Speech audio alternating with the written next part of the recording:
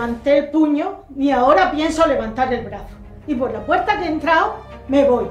Que todos nos conocemos y sabemos dónde encontrarnos. Dejadla, dejadla que se marche.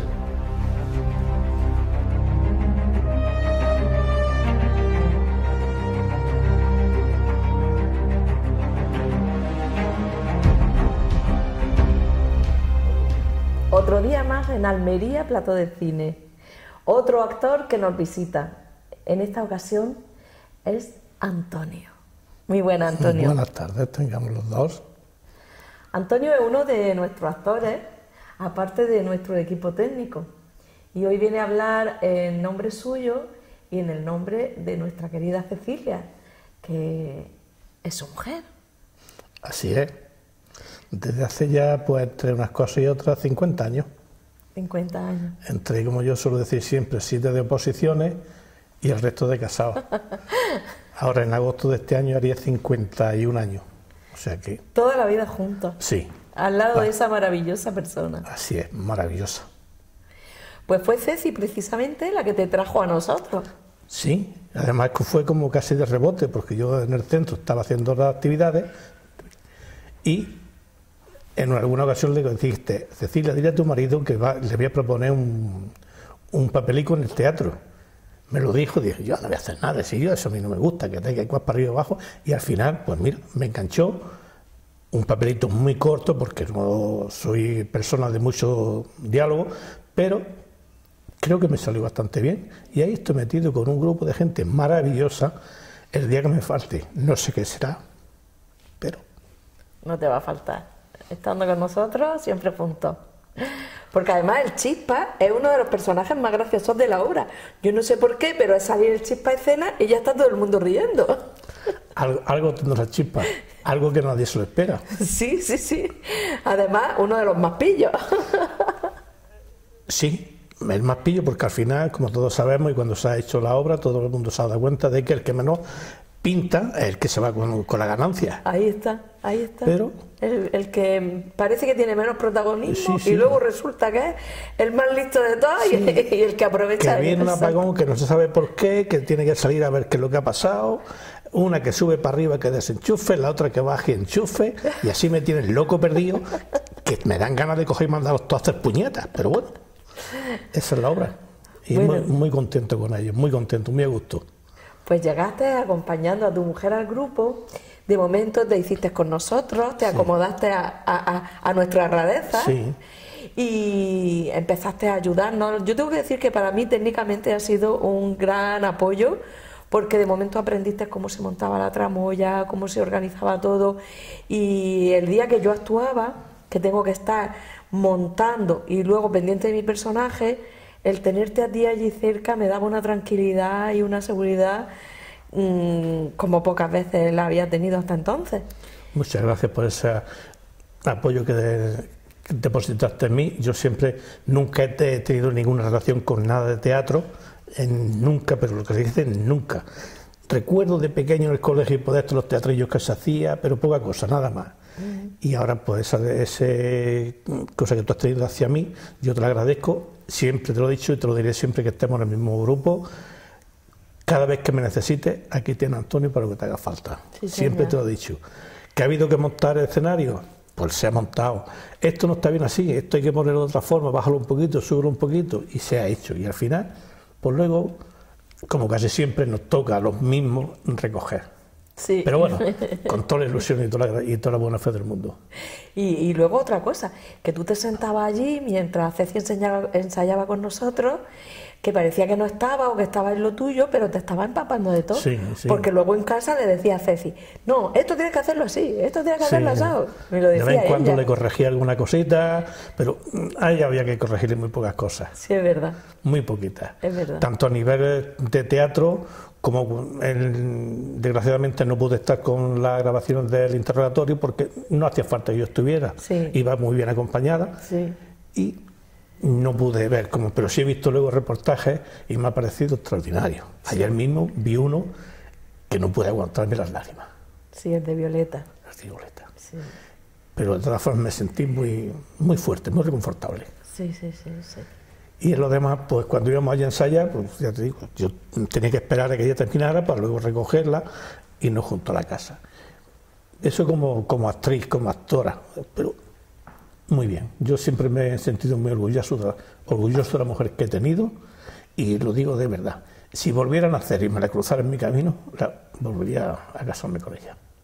Me encanta, me encanta eso que dice, porque además es la sensación que siempre nos ha dado a nosotros, que erais una pareja irrompible, que habíais creado vuestras propias sinergias y que eh, el uno conocía muy bien al otro, el otro conocía muy bien al uno y os habíais acoplado y, y para todo, ibais juntos a todas partes. A todos sitios, hemos hecho viajes muchísimo a todos sitios y luego pues tuvimos la desgracia en diciembre, pues una visita al médico salió una analítica extraordinaria, como muy poquitas le, salían, y le dijo, Cecilia, vete a urgencia, que te hagan la prueba del COVID, a ver qué tal.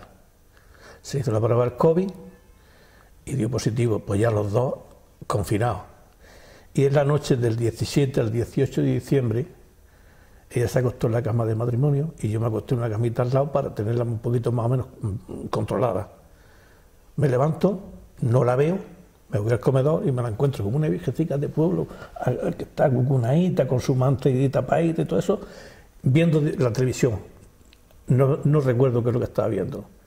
Decirle, ¿cómo te encuentras? Bien. O una voz que, le faltaba algo. ¿Quieres que te dé un vasito de leche con un, un, calmante? no, metformina no, era... paracetamol, sin paracetamol Sí, pues venga, pues dámelo. Se lo doy, se lo toma, y está como 15 20 minutos, bien. Pero luego ya vi yo que, se, se echaba hacia atrás el sofá para poder respirar bien. Y yo ya no me, no me dio muy buena espina. Mm. Y yo ya a partir de ahí yo ya contaba los días, porque sabía que no. No porque ya se le complicó con sus problemas coronarios que tenía y ya sabía que no. Porque vino una ambulancia y se la llevó. Sí, sí, sí. Entonces y lo vivisteis todo pues desde la distancia. Sí, yo desde el momento que ella se fue le ayudé porque vino la enfermera, ya vestida de su COVID, porque llamó al portero, digo, no tienes que subir con tu sillita porque tiene COVID, no puede y además no, tiene, no, puede bajar, ni yo tampoco, no tenía fuerza, si para, si para ir al servicio tenía yo que ayudarle a, todo, porque no tenía fuerza ya, si las patillas parecían mm, patillas de pájaro. Entonces, pues, la senté en la silla y es la conclusión que yo he sacado después la siento, me mira, la miro hasta el día. Y yo saqué la conclusión después de que esa mirada fue diciéndome adiós Antonio. Y así fue. Vino la ambulancia, se la lleva, a las ocho ya estaba ingresada, ya estaba entubada, y sobre las ocho y media yo llamo, como había llegado, y dice, pues ahora mismo está metida en la UCI de COVID, y está entubada, está sedada, no se da cuenta de nada. Yo iba hablando con los médicos que no sabía quién eran, Violeta no la conocía yo, ya no hablábamos de tú, luego había otro, otro médico que era Antonio, Antonio algo así creo que se llamaba, se alternaba con Málaga y aquí en Almería, y me hablaba y bueno, ¿qué le puedo decir a la familia para tranquilizarla un poquito? Pues que la comida la va tolerando un poquito, que hoy hemos tenido respirando sin, sin la máquina, sin la máquina, pero bueno, mm, ¿qué le debo decir? Pues que está relativamente está bien, que está tranquila, que no se nota. Estable. está estable, no nota nada, como decía yo por el WhatsApp. Y, y el día 1 de enero a las 6 de la mañana, a las 7 me llama el médico dándome la, el fatal desenlace. Que no lo había superado. No. Mm, cierto es que el día anterior, o sea, durante esa última semana, le habían hecho tres pruebas de COVID, había dado negativo, pero claro, ya había hecho el daño. Afecta al hígado, al riñón, al pulmón, y cuando eso no funciona, dice adiós a esta vida. Y yo a mi hijo pues lo iba aleccionando de que un día u otro nos daba la noticia porque estaba muy mal, estaba muy grave. Y el último médico dice, Antonio, mm, Cecilia está muy grave. Eh, no sabemos cuánto nos puede estar aquí con nosotros, pero podéis ir pensando en lo peor como así ocurrió. Y luego a través de eso, pues yo ya no puedo ni estar con ella, ni visitarla, ni darle, ni hablar por teléfono, ni nada. La llevamos al tanatorio, al Carrero, gracias a las conexiones que hay hoy en día, mi hijo me sacó un WhatsApp, una videollamada de esas, la pude ver en su cajita que parecía una virgen. Yo también estuve. Y el médico me dice, Antonio, ha muerto durmiendo. Sea, que quédate tranquilo, que aquí la, la hemos tenido entre algodones como ya en otra ocasión había estado. Porque todos sus últimos cinco o seis años tuvo dos infartos, gracias a Dios que me pilló, con- que pilló en la casa, de momento, pues allí. Y luego estando allí eh, ingresada le volvió a dar otro. Gracias al doctor Fajardo y doctora Lanzana y otro médico más, no recuerdo el nombre, ya digo, las tenían entre algodones. Y gracias a ellos salieron. Cierto también y que le pusieron un marcapaso desfibrilador, porque su corazón iba siempre trabajando muy lento, muy lento, para ver si, y estuvo muy poquito tiempo, pero luego tuvieron que dejárselo paralizado porque el marcapaso no era capaz de seguir el ritmo del corazón suyo. Y se fue con él al otro mundo. O sea que esa es un poquito más o menos la historia que yo he vivido últimamente con, con Cecilia, mi mujer. Bueno, Madre extraordinaria, esposa, compañera extraordinaria, amiga de sus amigos, extraordinaria. siempre está para los demás, Y actriz maravillosa. por lo que yo la he conocido como actriz, tú lo acabas de decir, maravillosa. ¿Cuándo fue la primera vez que la viste actuar? Pues la verdad es que no, te lo, no, no recuerdo, Salvé. ¿Puede no. ser eh, Tomás y Martina? Puede ser, puede ser. ¿Del que- Teatro Apolo? Puede ser Tomás y Martina, sí. Qué Sí. bien lo hizo. ¿Cómo se reía la gente con ella? Cada vez que hablaba. ¿Quién será ahora? Y ese Pepe y ese Pepe, y luego resulta que ese Pepe era su hijo. Sí, sí. Así que creo que fue en, Tomás y Martina, o Martina y Tomasa, creo que fue en esa. Luego ya fue cuando ya, mm, pues ese pequeño papelito que tú me diste, pues ya empecé yo ahí también, poquito a poco, y en fin, y, ahí- y ahí, ahí vamos. Y deseando de coger otro poquito de cosas. Sí, luego estuviste en, en, en pronóstico reservado, los dos trabajando juntos. Ella como enfermera y tú como electricista del Sí, hospital. Sí, sí. Sí. Muy bien, una, una época muy bonita. Pena que se nos haya ido. Sí. Pero bueno, Porque además era una persona que transmitía una vitalidad, Sí, sí, una energía, unas ganas de vivir, de, de- de disfrutar de la vida. sí, sí. de- Y no hemos ido, no hemos hecho más viajes, no hemos hecho más cosas por, por mi trabajo. Yo tenía, tenía una empresa, entonces no me podía despegar mucho. Pero una vez que ya nos jubilamos los dos, que ella se jubiló en julio, y yo, o sea, en junio y yo en julio del mismo año, pues a partir de ahí, siempre que hemos podido, nos hemos ido de viaje a disfrutar. También le gustaba mucho ir a su terrenico, Sí. a coger sus frutas, sus sí, sí. flores. su- Lo, lo ha disfrutado muchísimo el tiempo que ha estado con nosotros, claro. Sí. Así que, pero bueno, ya digo, ya hemos pasado una época muy bonita, como todo el mundo con las vicisitudes y con las dificultades, con los problemas, y como todo el mundo, pero me gusto con ella, siempre me gusto, me gusto. Eso es lo importante, la suerte que habéis tenido de sí. teneros el tiempo que habéis estado. Ya digo, como Con madre, esa buena... como madre, fenomenal, Eh, como esposa, divina. Si es que, es que no, no hay palabras para poder descifrarla, para poder describirla, no hay palabras. Tú la conoces, Vaya. muy poquito tiempo, Vaya. pero la has conocido también Vaya, muy bien. Vaya. ¿Eh? ¿Y qué quieres que no Si es que es que no es que es que- Adorable, es que era imposible conocerla y, no, y resulta- no amarla y adorarla Sí, y, sí. y De quererla hecho- porque es maravillosa. De hecho, es que ya llevo un año, creo que el 90% de mi situación la tengo superada, porque como viví esos días que estuve ya en el hospital solo, Sí, creo que eso me ha servido muchísimo. Sí. Tengo mis pequeños bajoncicos todavía, Sí, pero, normal. pero los supero de momento. Y es más, mm, cuando me levanto por la mañana, tengo la costumbre, no de ahora, hace ya muchísimo tiempo, tengo una columna donde tengo el Cristo de mi pueblo, que fondó, y la Virgen de la Angustia. Rezo mi Padre Nuestro, pido por toda la familia, por los enfermos, por los amigos, por todos. Entonces ya me voy a reservar. En fin, hago otras cositas. Cojo bien, mm, levanto mi persiana, estoy diciendo el, día a día que estoy haciendo ahora. sí, sí, sí. Levanto mi persiana, abro mi ventana, veo la luz del día, doy gracias por haberme nacido un día más y a continuación cojo donde tengo todavía las cenizas que no me quiero deshacer de ellas por ahora, porque me da una una tranquilidad en mi casa, ¿eh? enorme, que no os podía hacer ni idea. Y entonces les doy buenos días, cariño. Cojo mi evangelio, me voy a la cocina o en el comedor y le ofrezco el Evangelio para todo igual que cuando rezo el Padre Nuestro, igual. Incluso por tu Padre, por Pago, por todos pido. Muy bien, muy bien, muchas gracias. Así que sí que por pedir no cuesta dinero, Sí, es verdad. no cuesta. Y te sientes, te acercas a Sí, sí, que sí, quieres. sí. Y ayer cuando escuché la entrevista con Violeta. con Violeta, me llenó mucho más todavía. Lo comenté después que se habían saltado lágrimas de emoción, de alegría. Sí, O sea que- y yo el abrazo esta tarde lo necesitaba, sí. Claro porque que es sí. una tranquilidad que me da, pero bueno. Espérate que la veas en el papel del interrogatorio. He visto- Porque hace de una mujer revolucionaria como ella era, feminista, revolucionaria, y, y- y se enfrenta con, con, Con los, con los poderes. Con alguien, sí. Ayer pusiste unas imágenes y la veo a ella con todo de negro, con su velo, todo de negro, que lleva a dos personas acompañándola, que no sé quién son, Sí. y La llevan a interrogarla. La Sí, sí, me imagino que sea algo de eso, pero maravillosa. O sea, ese poquito, y luego otra- otras docenas más que también tiene contigo. una- un papel de abuelita. Sí, algo de eso, sí, además. Eh, mm, a ver si ya se termina y la podemos ver. Y podemos disfrutar Y de podemos- ella. Sí, de ella y de general, de todo en general, claro. Sí, claro, claro, general. claro. Porque la película no es ella sola.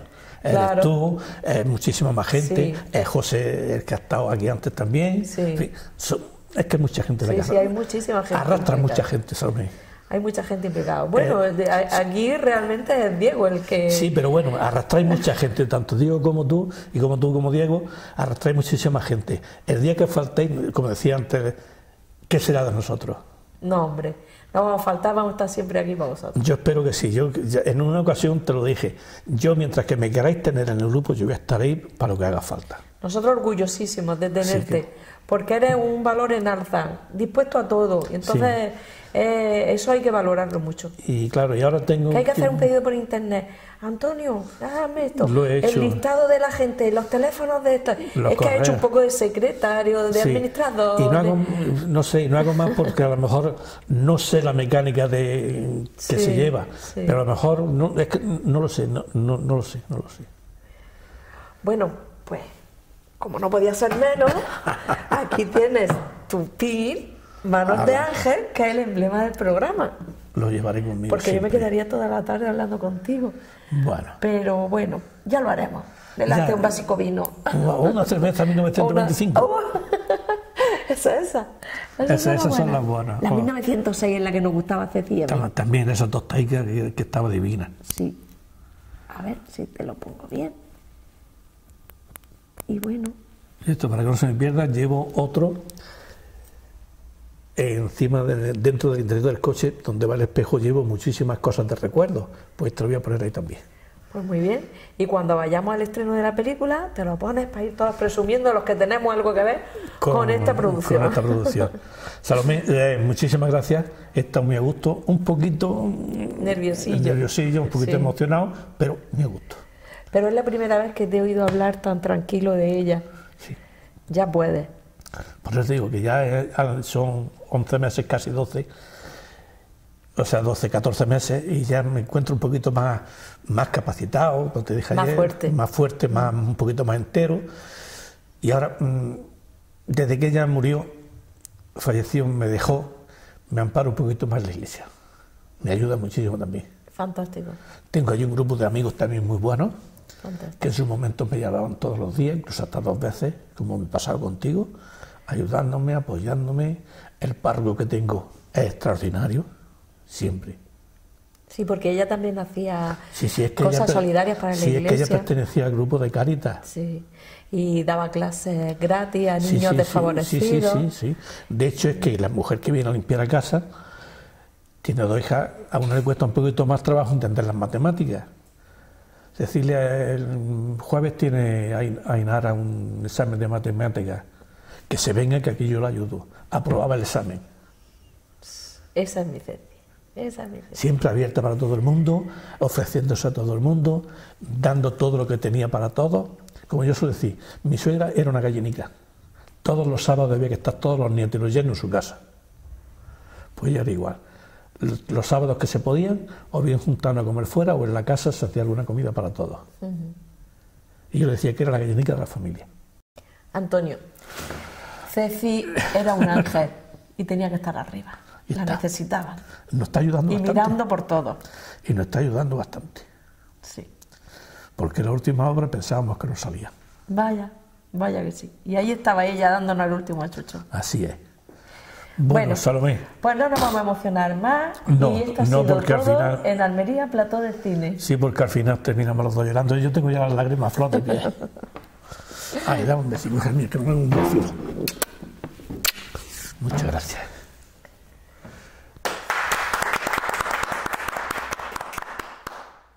Quizá hasta me pase a la cirugía estética. También la gente rica tiene derecho a que se corrijan sus pequeños defectos. Yo misma, doctor. ¿De qué nos pide todo perfecta? ¿Qué opina de mi pecho, doctor? Son un primor, un primor así a primera vista. Pero si lo deseamos hacerle una... Tenemos ocupados también la tres. Pues, ¿qué pasa? Es un SDS. SDF. Es una manía esto de las siglas. SDS significa sin domicilio fijo. Trabaja no pensamos de la S, de unidad social. Sufre una parada multifuncional debido a un CS, un coma etílico, otro que tampoco va a Con el calor que hace aquí, y el hecho de ya,